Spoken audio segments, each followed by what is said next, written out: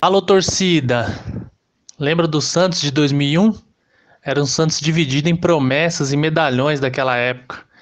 Como Fred Rincon, que era um dos melhores do Santos naquela semifinal do Paulista contra o Corinthians, que acabou com a derrota do Peixe nos últimos minutos com o gol do Ricardinho, que depois, inclusive, viria para o Santos, seria campeão brasileiro em 2004. Mas naquela semifinal, o Santos tinha outros jogadores, como Carlos Alberto Galvão. Lembra dele? Galvão era um zagueiro argentino que iniciou sua carreira no Racing.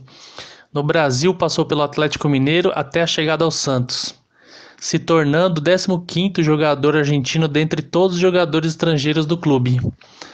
Após sua saída do Santos em 2002, ele passou pelo Lanús, também da Argentina, Paysandu, Olímpia, entre outros. Em 2014, Galvão iniciou sua trajetória como treinador de futebol. O começo foi no Peru, onde ele encerrou a carreira como zagueiro em 2012. Já no Campeonato Brasileiro daquele ano, o Santos contava com um time base que era o Fábio Costa, o Preto, o Galvão, o Kleber, ex-Palmeiras, lateral russo, Paulo Almeida, Renato, Robert, Léo, Marcelinho Carioca e Viola. O Santos não foi tão bem naquela competição, terminando em 15º. Mas outro jogador que pouco se fala daquela, daquele ano foi o Ricardo Soares Florencio. Lembra dele? Mais conhecido como Russo. É natural de Olinda, passou por Esporte, Vitória e Cruzeiro, entre outros clubes, até chegar ao Santos. O lateral pernambucano jogou sempre em bom nível pelo clube paulista.